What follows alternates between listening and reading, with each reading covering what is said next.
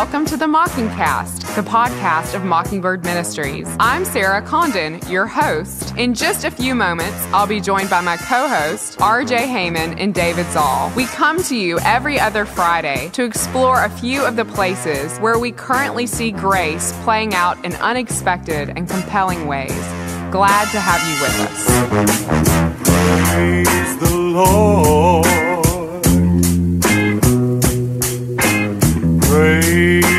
Lord. Here we are, my friends. It is another beautiful day in the neighborhood. That's a shout out to you, RJ, Mr. Rogers, uh, disciple numero uno. Uh, how are you guys doing on a fine September afternoon?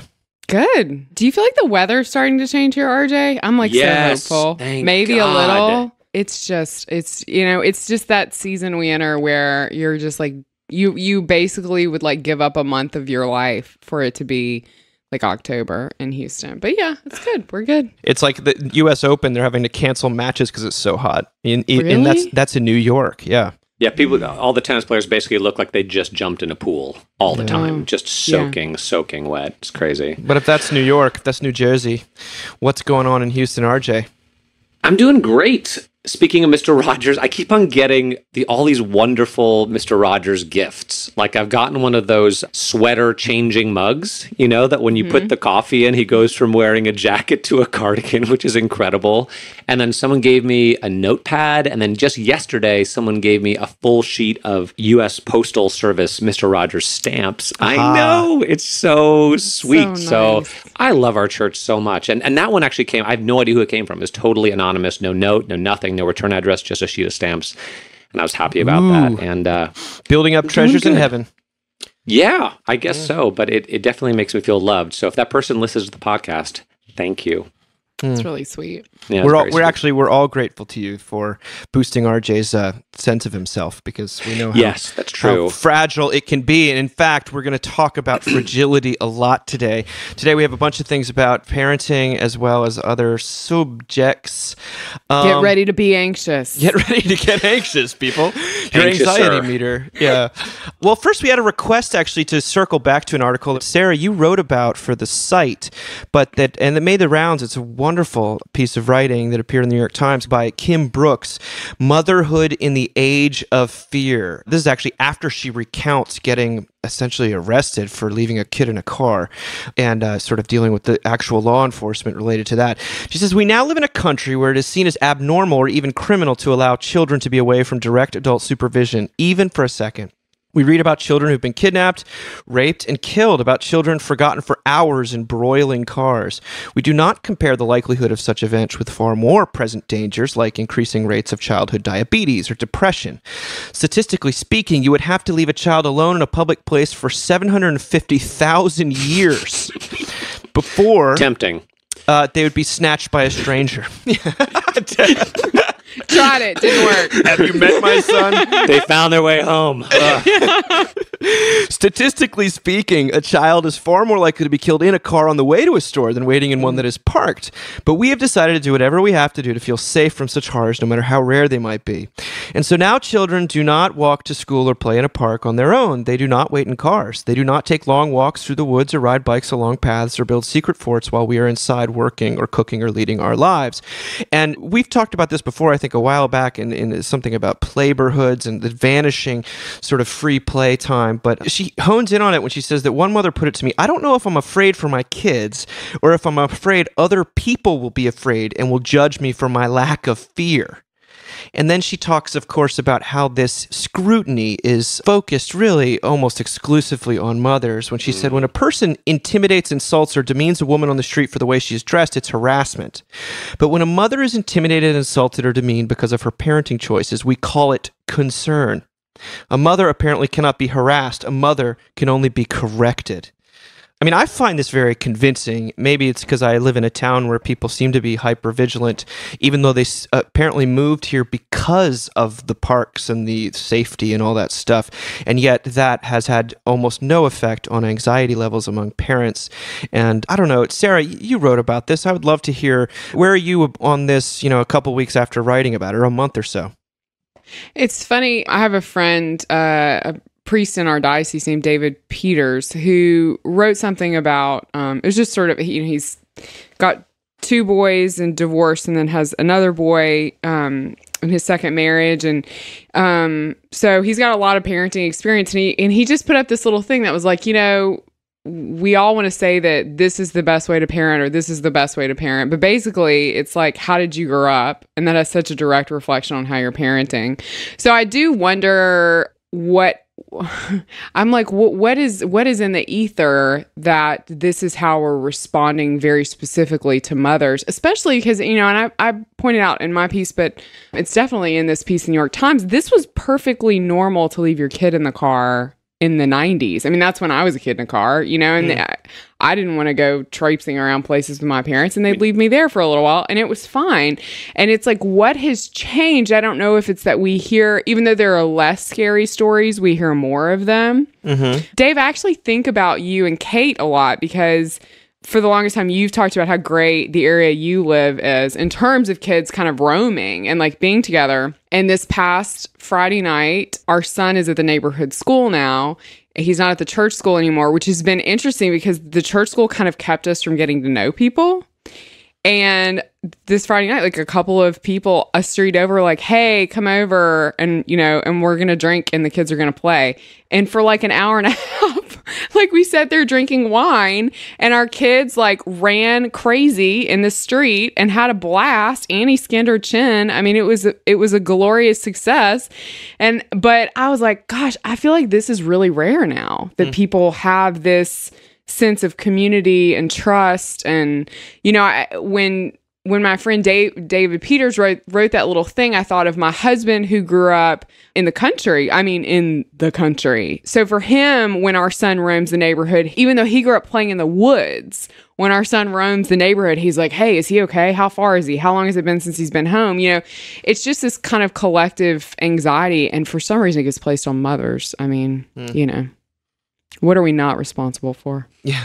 It's and she goes through a laundry list of like, if you're a stay-at-home mom all times, you're not doing it right. If you ha- need have to work, you're not doing it right. Mm-hmm. If you're you know semi-present and cool, then then you're not doing it right. It's anyway. It was it's a laundry list, and I think we all recognize that. But I would say in terms of how, just how other parents think of kids and this idea that I'm as a dad, but as a parent, I'm much more generally speaking concerned about what other parents will think rather than whether or not my kid is safe. Which maybe that reflect maybe I'm too laissez-faire. And as Sarah, as you mentioned, we've got this amazing neighborhood where kids do just ride bikes for hours, and we walk to school, and the kids, you know, when they're in second grade, they're going to be able to walk by themselves.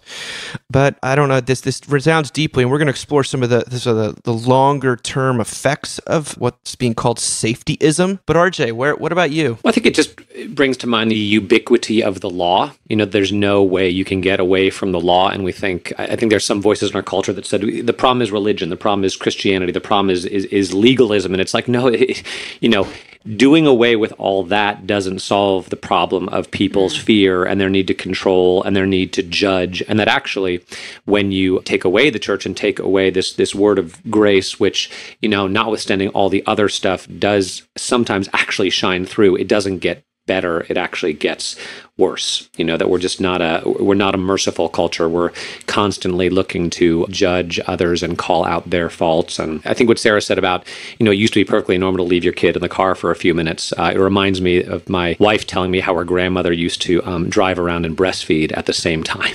You know? which you know or if you watch back is you know uh, episodes of- Multitasking in in modern Exactly, parlance. multitasking. Yes. And you know there were like no headrests or uh, you know seat belts in those cars or anything. Or you watch Mad Men.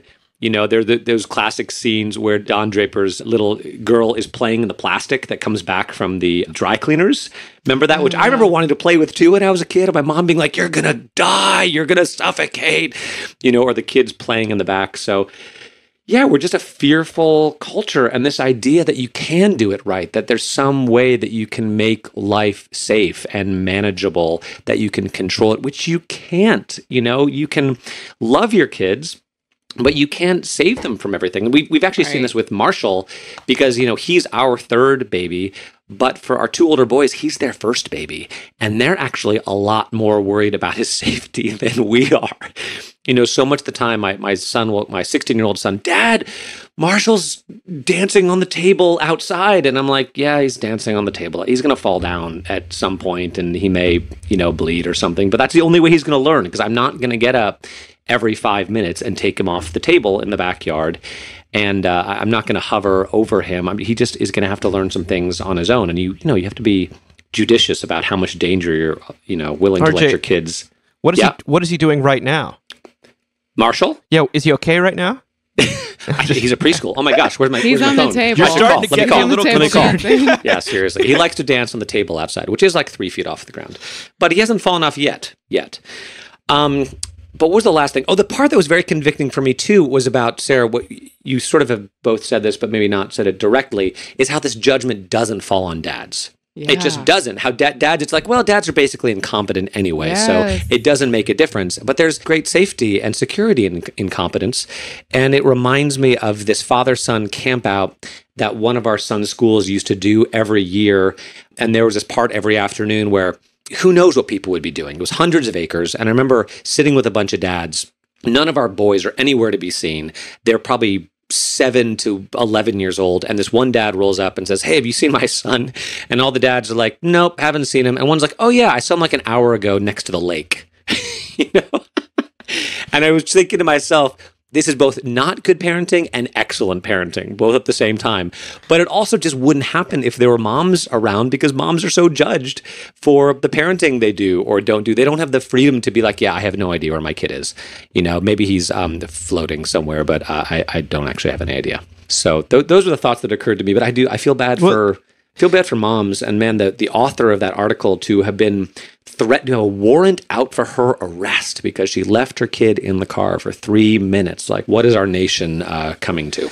Well, what it's coming to is groups like this thing that we heard about on NPR this very week called uh, Free Range Kids, which I thought was pretty interesting, uh, which promotes childhood independence and gives family the information they need to push back against a culture of overprotection. The founder says that there's this very pessimistic, fearful way of looking at childhood that's not based in reality. It's something that we've been taught.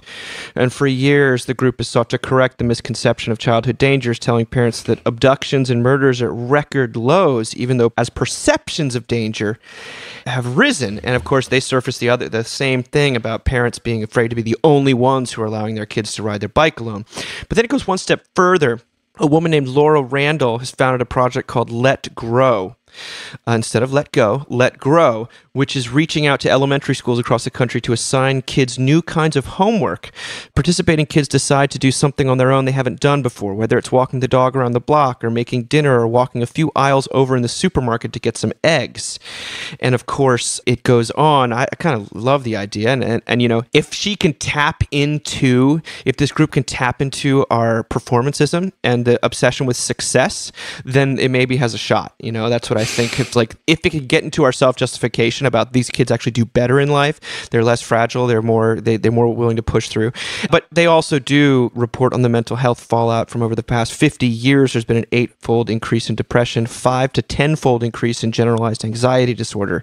And it doesn't correlate with economic cycles, wars, or divorce rates, but it does correlate very well with the decline of children's freedom to play. There's a Nigerian uh, theologian named Nimi Wariboko who we did an interview with one time, and he talks about the Holy Spirit really being the spirit of play. Simeon Zahl's going to talk about this, and that the life of the Christian is the life of play, which means you're free to engage in life independent of the outcome. Play is basically defined as any activity that does not have an intended result that's done for its own sake, and that this spirit of play is the spirit of freedom, which is the Holy Spirit. And I think uh, if we could reclaim a little bit of that, I mean, I, I mentioned it, and I put a Robert Capon quote up today on Mockingbird, which uh, is probably worth reading here because it's so amazing. But he said, if we are ever to enter fully into the glorious liberty of the children of God, we're going to have to spend more time thinking about freedom than we do. The church, by and large, has had a poor record of encouraging freedom. It has spent so much time inculcating in us the fear of making mistakes that it has made us like ill taught piano students. We play our pieces, but we never really hear them because our main concern is not to make music, but to avoid some flub that will get us in trouble. The church, having put itself in loco parentis, in the place of a parent, has been so afraid we will lose sight of the need to do it right that it has made us care more about how we look than about who Jesus is. And I don't know what else really needs to be said after that, but I would love to hear what the NPR piece kind of evoked in both of you. Yeah, well, I've talked about it on here before, but somebody tried to abduct me when I was in third grade in my neighborhood, like two houses down, which you would think would make me more afraid for my kids to be out. And it makes me less afraid just because I think there's a way that we can teach children to be in the world and that we should be confident mm. in that. And that there's something, probably even in terms of their mental health, that's really good for them that they feel like they're capable of being in the world and that they don't have to be afraid of everything. Um, so a lot of stuff she was doing, I mean, honestly, if you if you're listening to this and you have a little kid and they drive you crazy sometimes and you've got a dog, you have an opportunity to get them out of your house. I mean, I cannot tell you how many times I'm like, oh my gosh, you're so loud in my head. I don't say that to him. And then I'm like, take the dog for a walk. Like, the, you know, I mean, there is this like element of like, yes, it is gives everyone sanity, right? Because what we're raising them to do is to leave. And I also think we're forgetting that in a lot of our parenting right now. I don't know. This article reminded me of something that happened last summer, which uh, this is a bit of kind of a, a brag, so I'll just say that up front. But I'm I'm I'm proud of me and my wife. I sort of what I think was one of the defining moments of our eldest son's adolescence, where he was going to be gone for pretty much the whole month of June. He went to Alabama to do a space camp because he's into that sort of thing. And then he flew to New York to spend some time with family and went to a camp up there. And then he flew down to Florida to do sort of an outreach camp with our high school youth group at church. And then he flew back home and he did it all himself. And I dropped him off on a Sunday morning at Bush Intercontinental Airport. We were there at like 5:30 in the morning and his flight was delayed and there was some question as to whether he would be able to make it, but I had to get to church because it was Sunday morning. And so he had a cell phone and I said, "Hey, Jack, here's your cell phone. You have your cell phone, you have an ID. The gate is that way. You are smart and capable and you're going to figure it out." And he did and he navigated changing terminals and making flight transfers and connecting with family. And when he got back from that month, he was an adult, kind of like not mm-hmm. exactly. You know, he's, he was mm-hmm. 15 years old, but he had a sense of confidence and his ability to, you know, exist in the world and problem solve and get things done and ask questions and that I'd never seen before. And it was really pretty amazing to see. And since then, I, I've seen that sort of fruit of that borne out in other ways. But I will also say, I was scared, you know, especially on my way home, on my way to work. I call my wife and I was like, well, I, I, I had to leave him. I had to get to work. I have no idea if the flight's going to take off. And we were a little nervous about it, but everything worked out really well. And I think it was incredibly important for his development. So I advocate send your kids on adventures by themselves with cell phones. Well, it gets a little, a little. Uh, we have to get a little darker into the diagnosis here uh, before we get some extra light, because uh, this past week is the fir- the week that Jonathan Haidt and Greg Lukianoff they have put out their new book, and it's longtime listeners will know that we love Jonathan Haidt's incredible. We included him in that pagan priests of Mockingbird thing in the new issue of the magazine, but he's just he wrote The Righteous Mind. He spoke at one of our conferences, and he's really he understands a lot of this, and he's been focused on uh, what's going on on university campuses and basically what happens to these kids who grow up in an overprotected environment once they get a little older. And their new book is called The Coddling of the American Mind: How Good Intentions and Bad Ideas Are Setting Up a generation for failure. And you may people may have remember they wrote a big article that was on the cover of the Atlantic Monthly uh, about two years ago, and they've turned it into a book. And uh, basically, their explanation for our era of campus craziness, you know, sort of the insanity that's going on on on grounds where you know there's all people are getting fired left, right, and center, and Halloween costumes, and you name it. They see it's primarily psychological. They don't see it as political or sociological. That a well intentioned safety culture the one that we've described, has led to paranoid parenting when screen time replacing unstructured and unsupervised playtime has created a fragile generation. Basically, safety culture has the best of intentions to protect kids from danger. And let it be said, by the way, that our RJ's kids are all still breathing, apparently. Um, I don't actually know that for a fact, but I'm assuming that that's the case at the present moment.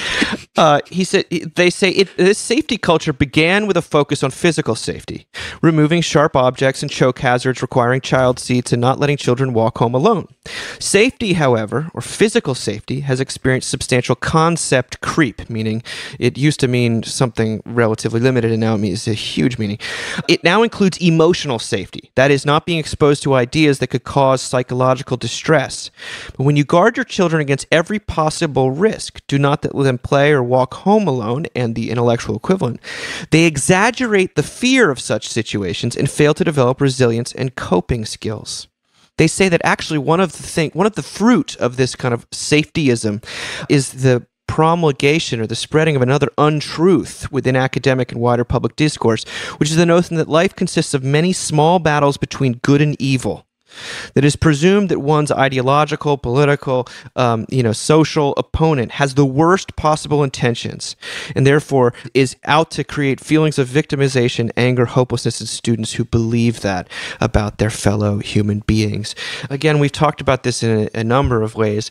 I think that the book got a great review in the New York Times, and um, it could be slightly alarmist. And I think we're already talking in this podcast about some of the reaction to it. There's always going to be a reaction to it, but we certainly, um, I would say that a lot of this sounds like a very faithless culture. So, I mean, uh, not that we've always always been faithless, but we haven't always had the tech, the technology. I mean, there was another article this week that said that was legitimately asking how closely should I track my kids' cell phones? And the kids in question being like 17 years old.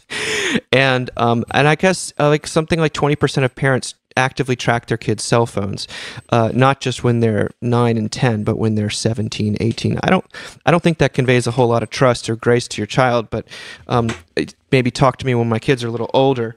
Um, anyway, the sort of lack of grace that we experience interpersonally in these hyper scrutinized environments and the just adversarial antagonism and just plain old negativity and oppressive law of it all seems to be rooted in what they would say are some good intentions. And it reminded me of course that you know a lot of the um, you know sin, most of it is taking something good and kind of uh, perverting it almost, to twisting it into something that is not, not good. And here, the parental desire to protect your children has turned into something that is um, creating children that um, cannot be protected because anything becomes a threat. Anyway, that's what where my mind goes. What about you, Sarah?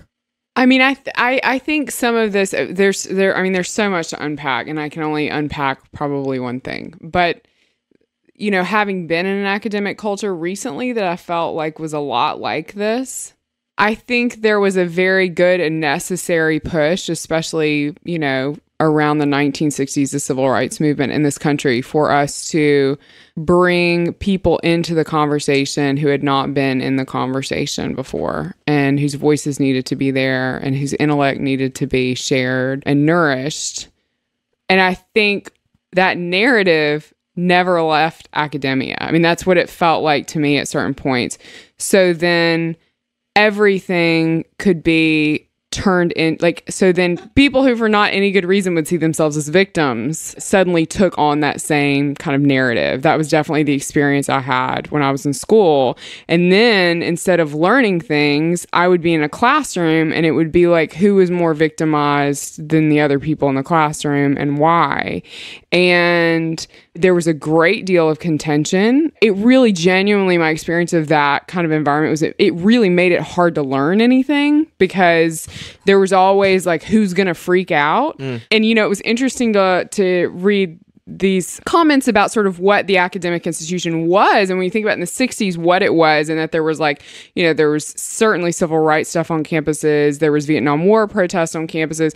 But now it's like we've we've taken those things which were such necessary issues to address and then a lot of the stuff that seems to get the same energy and attention just doesn't quite meet that mark. So, you know, I keep thinking about a class I took on the Book of Common Prayer, which is the prayer book we use in the Episcopal Church, and uh, we had to teach it to each other.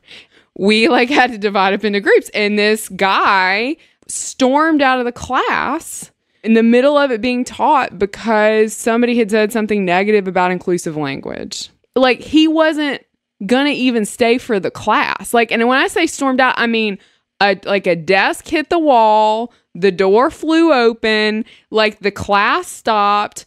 I had this Canadian professor who was really nice and he looked like Dwight Schrute and he did not know how to handle the situation. Like it was a total mess. And, you know, this is just like my sales pitch for you should look at like the old stuff on Mockingbird because I had to teach the prayer for humble access like the next week. And people, if you don't know this prayer, it's people have very strong feelings. They either love it or they don't. People feel like it's too penitential. And I was just waiting for, I, you know, the last thing I want is somebody to like yell at me in class. And also, and this is the reality in academic settings, we are there to learn. And in seminary, you got to learn the Book of Common Prayer, even the parts you don't like, because guess what? You're going to have to use it at some point in your ministry. And you can't like make a grand statement to the 93 year old lady that wants it for her funeral. So, all that is to say, I went on Mockingbird's website and found the eulogy that Tyler Perry did at Whitney Houston's funeral. And that is how I taught the prayer for humble access in that kind of an academic environment. Because, and it's, you know, it's such a, a Paul Zahl sort of, you know, he's always over us as the godfather of this stuff. But, you know, it kind of made people let their guard down, right? Because it was this thing from pop culture. It's Whitney Houston. Everybody was Whitney Houston. You know, it kind of got me in. But um the the stakes were, I mean, I look back and I, I do I say this sometimes. I think people think I'm kidding. I did not learn much because the stakes were so high in that environment for who was right and who was wrong and who was in and who was out. I mean, it was just incredibly aggressive, like in the least productive way. And yet, if what we're reading is true, it's not like the students themselves. It's like the, it's the, the atmosphere in which they've been raised, and like uh, that this is the air we, we've we've we've sort of allowed our children and one another to breathe, and that's what's. Yeah. Um, and of course, it all. It's not like it was really ever that. It, we just had different problems way back when. Right. But I, wow, that's that's uh, uh, that's arresting to say the least. I think of you every time I say that Book of Common Prayer. I mean that that sorry that prayer of humble access. What do you think, RJ? Well, I thought as I was reading this article, you know, I know today we're talking about, we started off talking about sort of having more mercy on parents who are just kind of doing the best they can, not judging them too hard. But I do feel like, obviously, to the degree that this is a thing, it, it's a failure of parenting. You know, it's it's a it's a failure of of parents to convey things to their children cognitively and emotionally and I was thinking about that. I was thinking like what is what is the job of a parent really with their kid? And what what are they supposed to teach them about the world and themselves? And it sort of seems to me and this is you know broadly general that the things that a parent is supposed to teach is that you know the world is not a perfect place. And you're part of that. Like you're not perfect either. But you are loved. And that somehow you're unconditionally loved in spite of the fact that you're not perfect. But those teachings have been a little bit skewed to almost like well the world isn't perfect but it should be.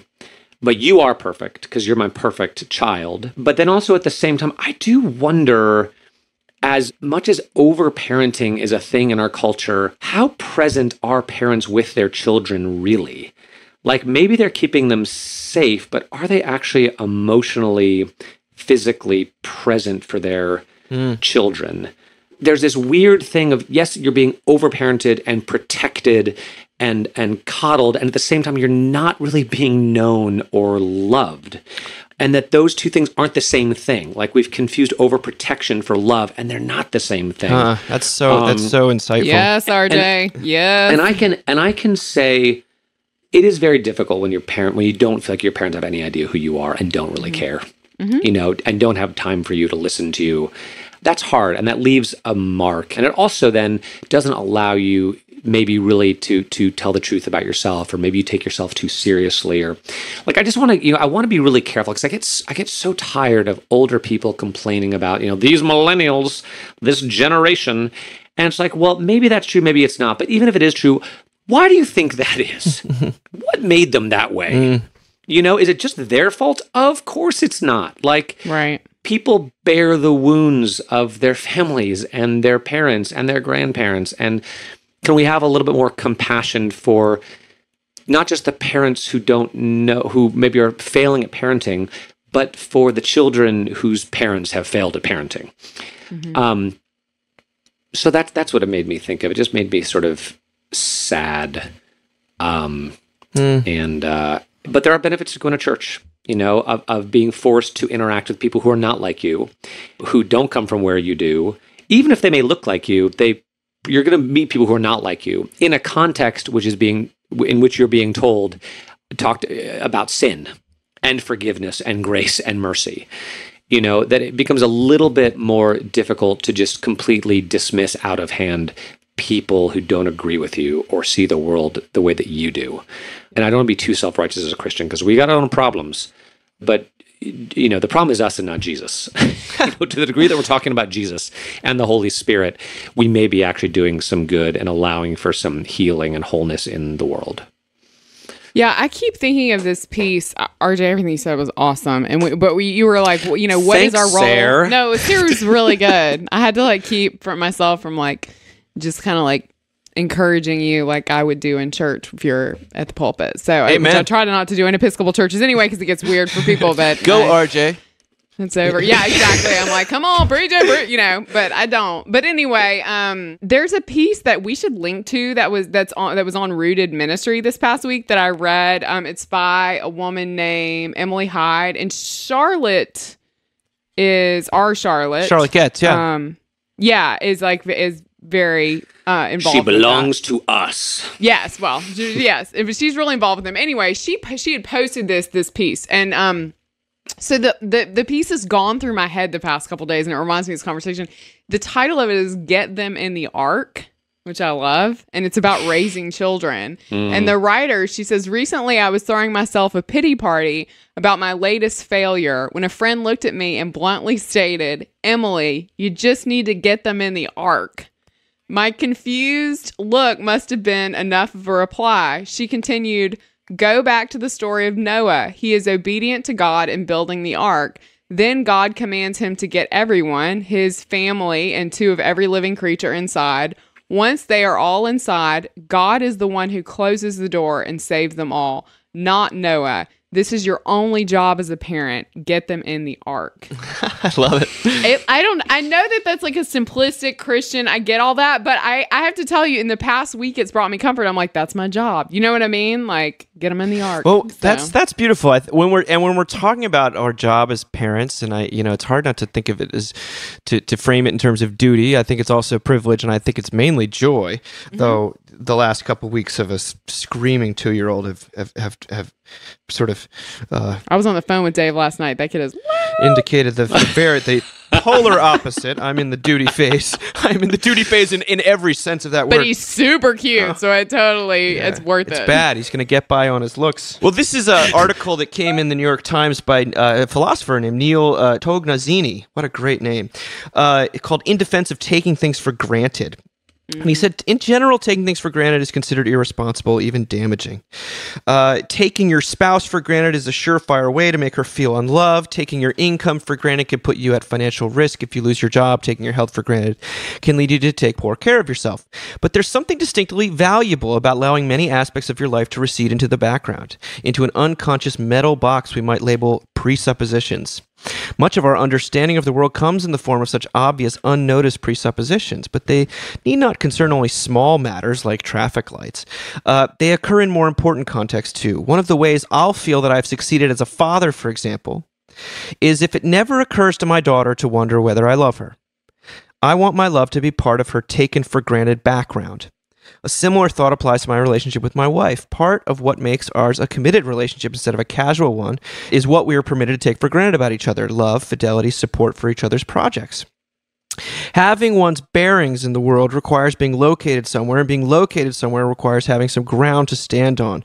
What we take for granted is that ground. And you might as well just capitalize the G there and call it God. I mean, what is it? What is it I uh, uh, think faith really is? It's oh, let me see, what, what I take for granted that God is there and uh, God is for me and with me. And uh, that is what I want, certainly, my kids to take away in, in terms of my presence. And I think it's much easier to conceptualize God that way if you've had that experience of an actual earthly parent. But this idea of maybe what we're to do is to- when it comes to actual safety. It's not protecting children from the slings and arrows, emotional or physical. It's giving them the ground that they stand on so they're not falling apart all the time. And maybe that's the ground is love.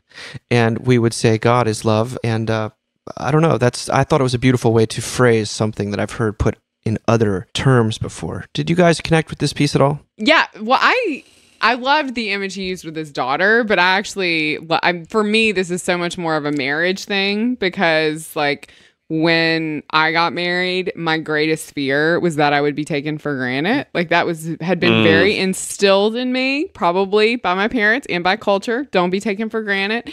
And my husband that's just not in his DNA to take somebody for granted. But that was it was always sort of this like thing, are you going to take me for granted? And so it was very powerful to read that and you know, it's been sort of sanctification takes like 4,000 years, a powerful shift in our marriage that, you know, I'm in a place now where if I if I feel like I'm being taken for granted, it usually means I'm tired or hungry. You know what I mean? it's not because I'm actually being taken for granted. So that I I found very relatable. And of course, like the, you know, the message of of the cross is so powerful in this because it is something that we take for granted and in so many ways are allowed to take for granted. And that is, well, one of the really bizarre things about Christianity is that it's this religion that you accept what's happened on your behalf and then you go out and you live your life in that freedom. And that is very different from other forms of religion that exist on this planet. So, yeah, I mean, I love the idea that we, God lets us take him for granted all the time. Yeah, that's Right. and that's why it stuck to me because I think, like when you get married, what uh, when when you I was talking to a couple who's about to get married. I mean, you're you're you're basically saying I'm not going anywhere. You can take it for granted that I will be here. And mm-hmm. that is the, an act of grace. That sort of yes is what usually allows people to be themselves. And sometimes it's the boys in the basement, the ugly stuff that comes out. But when you when you take something for granted, it means it's no longer up for grabs.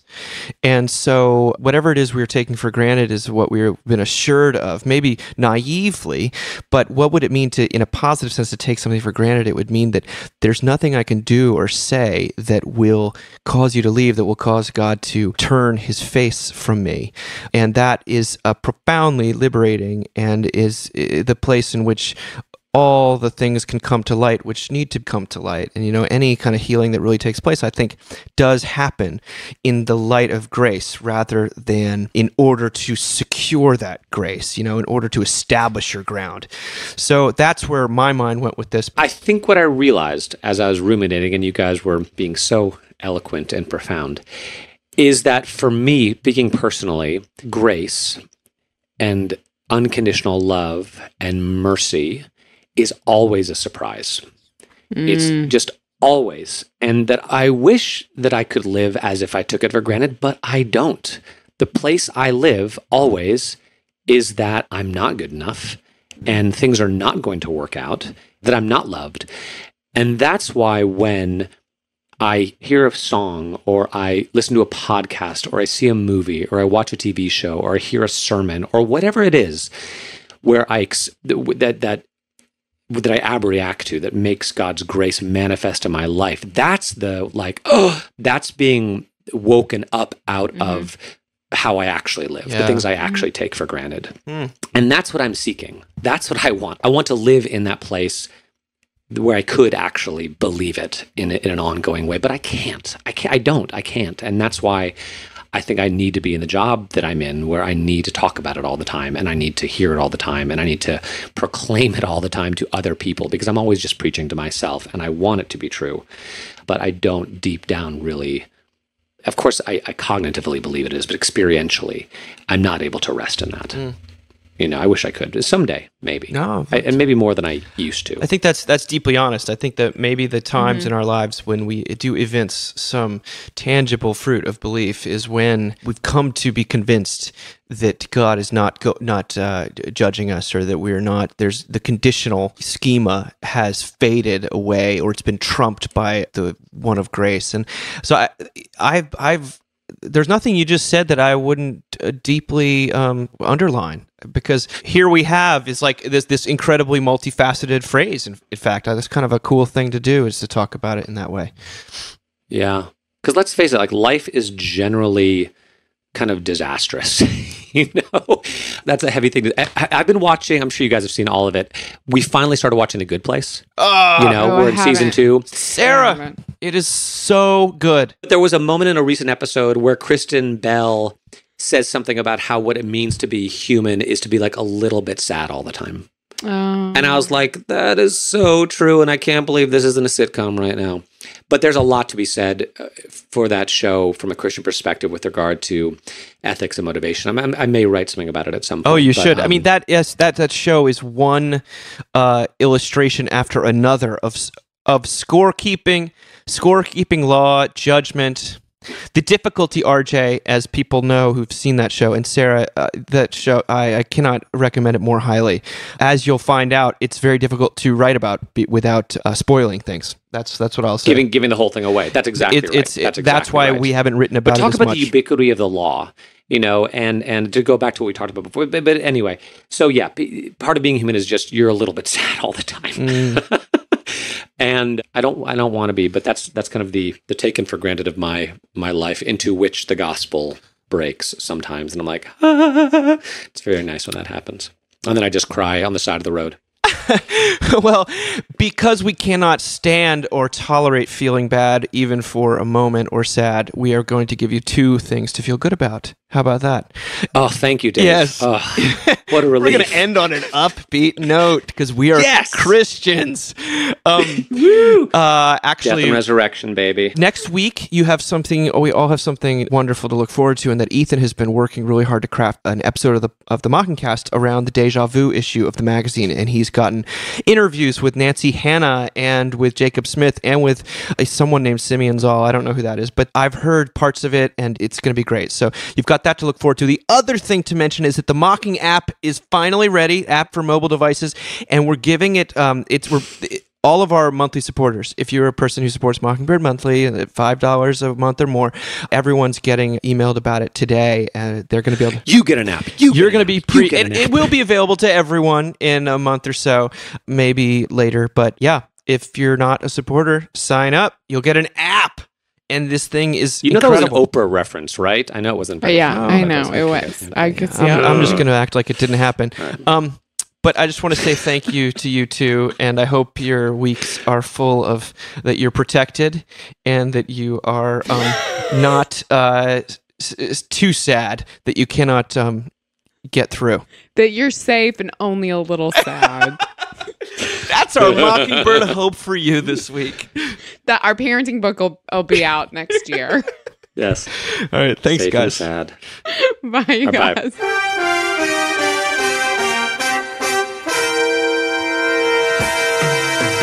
Thank you for listening. Remember, you can find us on the web at www.mbird.com. And we'd always love to hear from you at info at mbird.com. Audio production for the Mockingcast is provided by the Narrativo Group, and if you like what you've heard, please do drop over to iTunes and leave us a rating and review. Until next time. Praise